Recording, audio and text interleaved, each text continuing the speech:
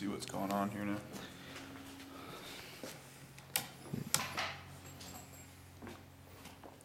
Yeah, it's already fired off.